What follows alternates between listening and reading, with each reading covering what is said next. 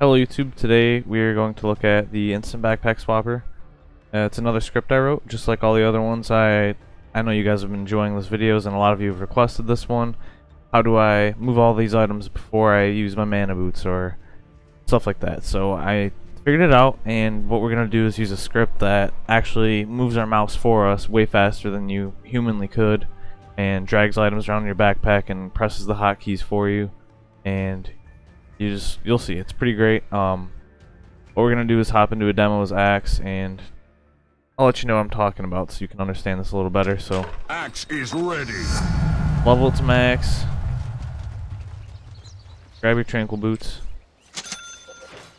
So what happens to make way. is if you attack an enemy You this goes to 13 pronounced seconds Admiral. right? Um a lot of you know that and Enemies But to avoid that is what people do is they move this into their backpack right before they attack and then move it back right after they attack. So let's say I did this, attacked him, moved it back. In a game that's going to be a 6 second cooldown. It. Since I'm in a demo it's going to be instant, but you guys get the point. It's a lot faster, it saves you about 6 seconds every time and if you're doing it throughout the entire game then you're going to be saving a lot of health and movement speed too because these give you bonus movement speed. So there's that. Um, I'm gonna put it in this last slot because I used up the least. That's what I'm gonna start with for the axe video. Um, I'm gonna do a second part where I'm doing Omni Knight and I'm moving a bunch of items and getting mana back so I can better demonstrate. But so I'm gonna hop out of Dota and go into my script folder, and I have a bunch of them here. Um, I'm gonna right click and create a new auto hotkey script. If you can't see that, then you're probably not going to autohotkey.com and you need to install this and run run the install file, walk through it, press express settings, and you're good to go. And it'll that will pop up if you haven't seen that already. And to run your run these scripts, a lot of people have asked, you just right click, run script, or double click on them.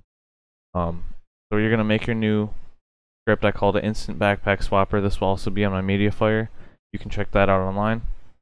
But I'm just gonna edit mine that I already have. So here it is. It's a little bit lengthier than a lot of my scripts, but I'll explain. I'll just walk through it. I'm not gonna code this one out with you guys, but I'll show you what I'm doing. So this is all stuff that's in every script. This is just the prereqs for it to make it run and blah blah whatever. Doesn't matter. So ignore this. Just copy and paste it from me. Um, you'll see that in almost every script. There's something like this at the top. You don't really need to know what it does. Um, this is important. CoordMode mouse. So this makes it so we can use uh, coordinates on our screen to move our mouse around.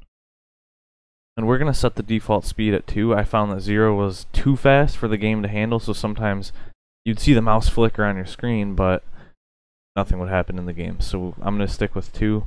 Um, looks the most legit to me. I like it that way, so we're going to do that. Then make a variable, just make it 1. That's just, we'll use this later in an if statement, basically. Um, if a lot of you don't understand that, just you'll see in a little bit. So this is just stuff I mapped out using my um, click test script. That's also going to be in my MediaFire. So download that and run that, and I'll show you what it looks like. So um, double click on click test, and then basically if you press the X key on your keyboard, it's going to show you where your mouse is located on your screen. So let's close out of everything, press X. The cursor is at X904Y374. So that's your coordinate. So you're going to write that down let's so go into game. Into war's teeth. and then you're gonna go press X at each location. So this is one two three four five six seven eight nine. And write them down on a piece of paper or in a notepad document. I don't care. I did it in my notepad. So if I press X right here it pulls me out of the game and shows this. And I made it so you could it would always be on top so you can type it in real quick. And then it's gonna disappear in 10 seconds and you can do it again. Um yeah, it just disappeared. So do that for each column and row and mark it down so you remember. But I put the the third row's backpack and it's that's the coordinate. You can also use my coordinates. They're right here. Um, I'll put those in the description too, I guess. And once you know those, we'll get going. So I'm gonna close out of the script, and then so we're gonna start with a slot one script. That's gonna click down on the tranquil boots if they were in slot one and move them down to the backpack. So click down, that's the, the code for it, and then that position is column one, row one. See that X Y. So that's the first slot, and then to return it the item back when you're when you want to, it's gonna be the opposite. So you just copy and paste the click down coordinate into the click up, and then the click up coordinate into the click down. You can see how they kind of flip flop, and that's it. That's how you do the mouse movements from one slot. So it's pretty much the same thing for each slot. Obviously, the coordinates just change. So we went slot two, slot three, slot four, slot five, slot five, excuse me, slot six, and then this is where the actual script uses all that stuff we just made. So we're gonna, I made it V. That's the key that I usually use for this backpack slot in game. This tranquil boots is in slot V. This is like D X C D. Ah, it's not even slot V. I'm, I lied. It's slot N. But it doesn't matter. I have it set to V. Rest is But it'll for the work. dead. So, you know what? I'll move it. I'll, sh I'll show you guys what it would look like. So, this is slot V for me, like it should be. Another thing that's super important, guys, is make sure you have quick cast turned on for all of these. That This will be more important for the Omni Knight one. Right now, you could have them on cast too, I guess. It doesn't really matter. But when we get to the Omni Knight mana boot thing, you're going to want quick cast on all your items or whatever hotkey the, um, the mana boots is in. So, like, mine are going to be right here in Z. I know that. And then you don't have to worry about abilities for this video, which is great. So Good day to fight. let's say it's V, and I want it to move from slot 4, 1, 2, 3, 4, down to s- backpack slot 1. So V, and then we're going to say if variable equals 1, this is the if statement I talked about earlier, it's going to call the function slot, whatever slot it's in. I said 4. We're going to say slot 4, and then the two little um, brackets for mean it's just a function. Don't worry about that. Then we're going to set the variable back to 0 so that next time it runs, if you click V again, it'll return the item back. That's what this else statement right here. So um, now we're going to type in return slot and then same thing 4. So it's going to send it down and then if you click the key again another time, it'll send it back. So I, I had it so that you had to click a different key with my mouse to send it back before and I didn't like that. I figured out a way to do it so just use the simple if else and you can just keep clicking the key over and over the same key and it'll send it back and forth. So I'm going to save that, file save, and then I'm going to run it.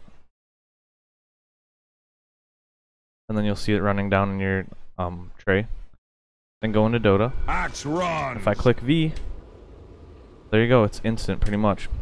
And I can just keep clicking V over and over. Look at that, it works perfect every time, you'll never mess it up.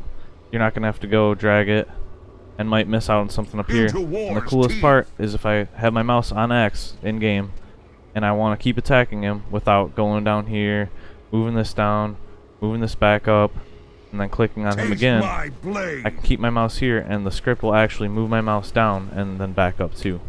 You can see it just returns the mouse position right to where it was. So I can almost like. I can pretty much go to hit him, move it so fast that you can do it during Axe's animation. Look at that. Not on cooldown. But if I do it like this, the they are on cooldown. Pretty sweet. Um, I think it's pretty cool that we can just do that, and that's really important for when we go to Omni Knight, and we have to move three items, click a key, and then send them back. And it's Cut and run. I'll just do that right now. It's pretty easy. So Axe is a cutter bomb. Omni Knight, you can use this with any hero. Doesn't have to be Omni Knight, and you can obviously change what slots you want to use. What I'm gonna do to really demonstrate this to you guys is level me to max, and I'm gonna level Axe up a little bit. Give him some. I'm gonna give him a diffusal blade to burn my mana, and some hyperstones or moon shards, whatever. I'm gonna have him burn all my mana away. There you go. I am needed. And we need. I probably don't should have done that in a different order, but it doesn't matter. Um. What else? I have other ones. Okay. So what I'm gonna do is have the script move the force staff, the ags, and the aether lens back into my backpack, then click Guardian Greaves, and then send them back so you I'll get the most point. mana out of it. So you can see that right here, watch. If I just click Guardian Greaves, my mana goes up to 180, just about. Flanking. I'm gonna refresh it, do the same thing. But this time I'll use the script.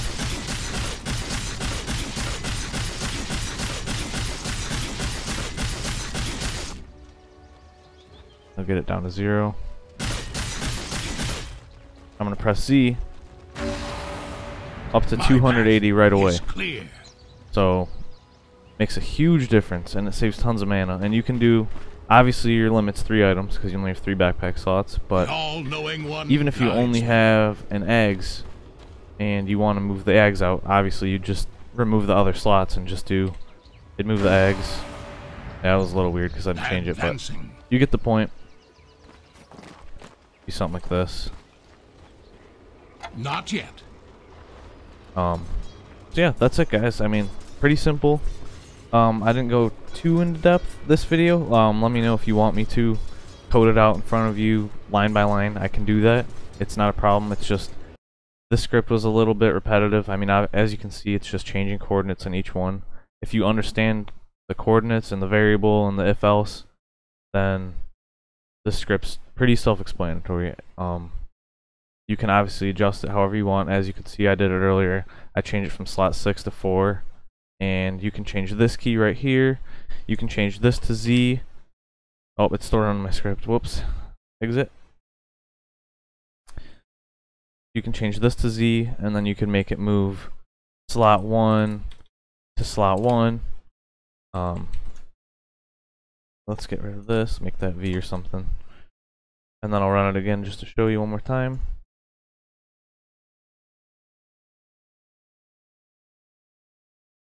What did I do? B.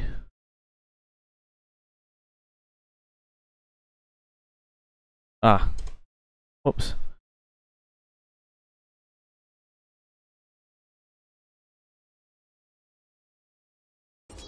Guiding light. So there you go.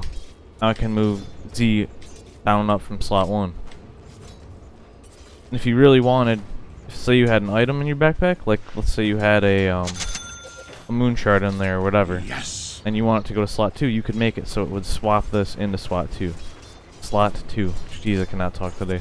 So it'd be slot 1 to slot 8. And I journey on. that'd be like this. I'll do one more last time so you guys can understand it a little better. Um, slot 1.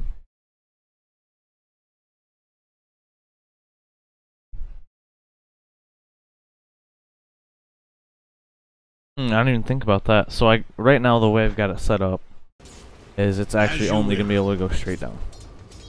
And you'd have to go into the coordinates on slot one, change it to this coordinate instead of this one.